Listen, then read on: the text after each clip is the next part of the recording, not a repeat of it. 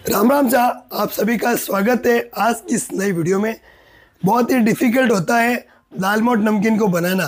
खास करके आप जब भी बनाते हैं तो ये बहुत कड़क हो जाती है तो इसको खस्ता कैसे करना है?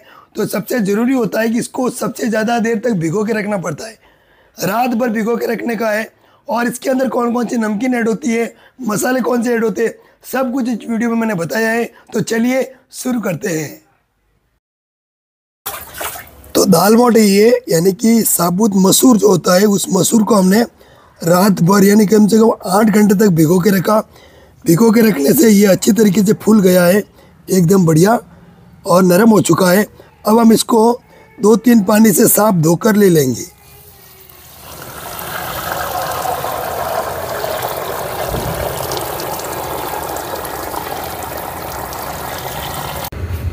अब ये जो दाल मोट है दोस्तों, हम इसको दाल मोट कहते हैं, लेकिन इसका जो नाम है वो है साबुत मसूर। अब ये भीग कर तैयार हो चुकी है, अच्छे से फूल गई है और एकदम बढ़िया नरम हो गई है। इसको फ्राई करने के लिए हम इसको जो है एकदम बढ़िया तेज़ आँच पर इसको हम फ्राई करेंगे। यहाँ पर देखिए, बड़ी वाली कढ़ाई के अंदर और ये लकड़ी की भट्टी हम यूज़ कर रहे हैं और जो तेल लिया है वो है दोस्तों, सोयाबीन का ऑयल है। तेल बड़ी वाली कढ़ाई में मैंने ले लिया है और दाल मोट को तलने के लिए तेल की मात्रा हमें कम रखनी है और तेल की जो आँच है वो हमें बहुत ही ज़्यादा तेज़ रखनी है। देखिए, तेल से धुआँ उठ रहा है, एकदम गर्म होना चाहिए। अब हम यहाँ पर जो है, दाल मोट को, मसूर को जो है फ्राई करेंगे।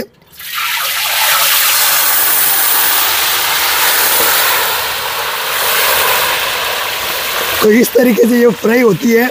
इसको बहुत ही सावधानी से करना होता है। और इसके अंदर पानी की मात्रा ज़्यादा होती है, इसलिए तेल की आँच कम ना हो, इसलिए इसको ज़्यादा आँच पर हमें फ्राई करना होता है। और धीरे धीरे ये पकेगी तो ऑटोमेटिक तेल के ऊपर तैरने लगेगी। इसको फ्राई होने में तीन छः चार मिनट का समय लगता है।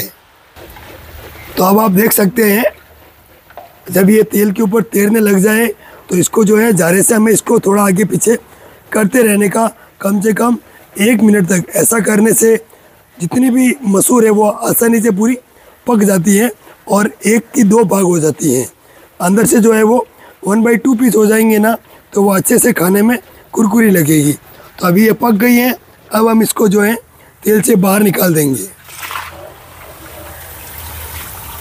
तो ये देख सकते हैं, काफ़ी कुरकुरी और एकदम बढ़िया अच्छे तरीके से दाल मोट हमारी पक गई है दाल मोट यानी कि साबुत मसूर।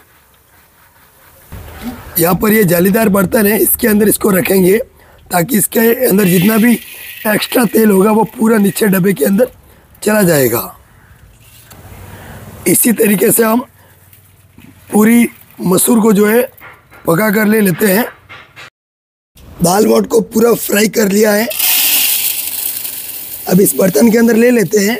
और आपको मैं जूम करके दिखाता हूँ कि दाल मोट फ्राई होने के बाद ये जो है वन बाई टू पीस यानी कि अंदर से अच्छे से पक जाती है। ये देखिए, एकदम बढ़िया आपको दिखेगी, फुली हुई। अब यहाँ पर हम बनाएँगे सेव। दाल मोट के अंदर सेव जो होती है डालने से इसकी खूबसूरती और स्वाद दोनों बढ़ जाता है। तो यहाँ पर मैंने लिया है एक किलो बेसन। इसके अंदर ऐड करेंगे तीस ग्राम नमक। बेसन और नमक के अलावा इसमें और कुछ भी ऐड नहीं होता।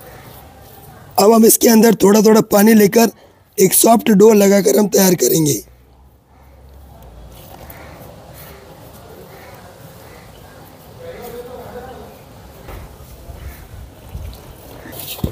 तो देख सकते हैं यहाँ पर हमने डो को गूंथ लिया है और इसको हम थोड़ा और सॉफ्ट कर लेंगे ताकि सेव हमारी बनने में आसानी होगी। अब ये जो बेसन है दोस्तों, जिसका हमने डो लगाया है, अब इसको जो है इस मशीन के अंदर भरेंगे। ये मशीन है दोस्तों, सेव बनाने की। इस मशीन के अंदर आप अलग अलग तरीके की नमकीनें बना सकते हैं और ये आसानी से अमेज़ोन पर अवेलेबल है। और अब हम जो बना रहे वो है एक नंबर सेव। दाल मोट के अंदर हम एक नंबर सेव ऐड करेंगे। सेव को फ्राई करने के लिए तेल हमने यहाँ पर रख दिया है। सोयाबीन का तेल हम यूज़ कर रहे हैं और तेल की आँच मीडियम आँच पर है और अब इसके अंदर हम सेव फ्राई करेंगे। हमने यहाँ पर मशीन को रख दिया है और अब हम इसको घुमाते जाएँगे और सेव हमारी बनते जाएगी।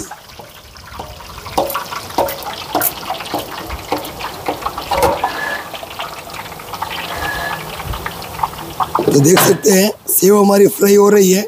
जैसे ही झाग खत्म हो जाएँगे इसको हम पलट कर बाहर ले लेंगे।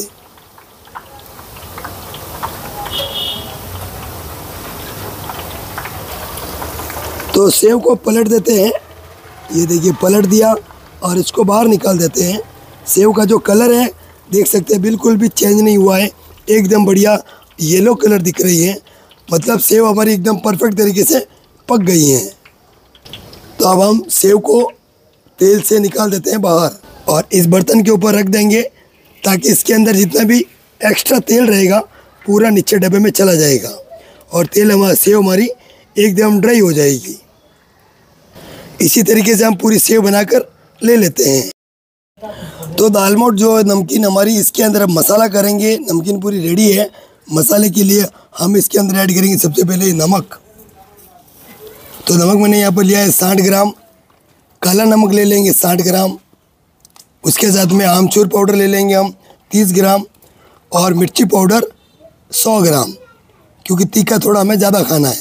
अब हम इन सभी मसालों को पहले मिक्स करेंगे।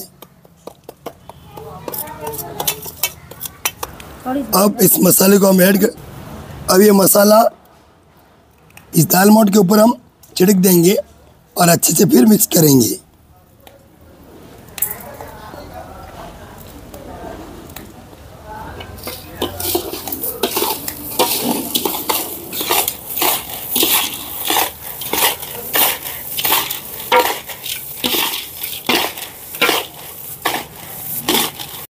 देखिए, ये सेव हमने बनाई थी। इस सेव को दाल मोट के अंदर ऐड कर देंगे और फिर इन सभी को हम बजिया मिक्स करेंगे। तब जाकर हमारी तैयार होगी दाल मोट नमकीन।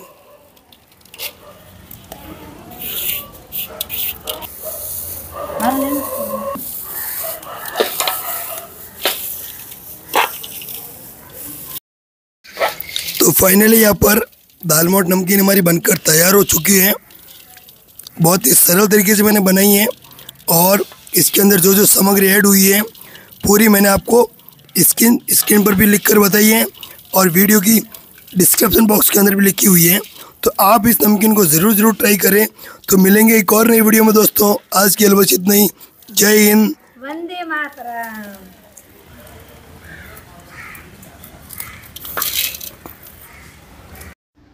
अब आपके लिए ऐसी और नई नई वीडियोस हम लेकर आते रहेंगे।